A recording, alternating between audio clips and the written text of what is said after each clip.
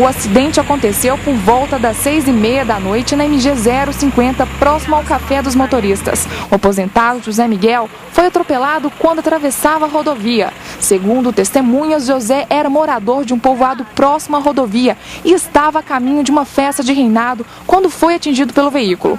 Uma equipe de socorros do Corpo de Bombeiros foi acionada, mas quando chegou ao local, o aposentado já estava sem sinais vitais. De acordo com a Polícia Rodoviária Estadual, o motorista deste carro alegou que não viu o homem atravessando a pista porque já estava escuro e havia pouca visibilidade. O trânsito no local ficou lento por mais de uma hora.